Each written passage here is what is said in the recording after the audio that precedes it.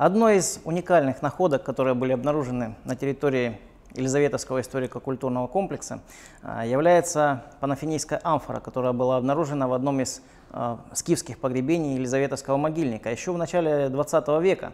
Но сама по себе а, такая амфора, которая находится очень далеко, скажем так, от того места, где ее произвели, и не где-нибудь, а в скифском погребении, она вызывает много вопросов и интерес.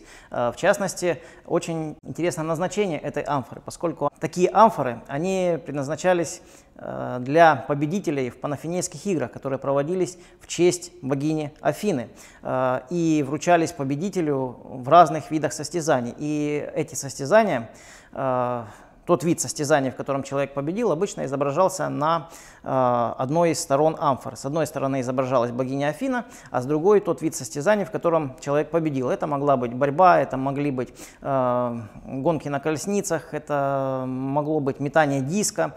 Вот. Сюжеты как бы могут быть разные, но в данном случае э, изображен сюжет человек с лирой. То есть человек победил в поэтическом состязании э, в Афинах.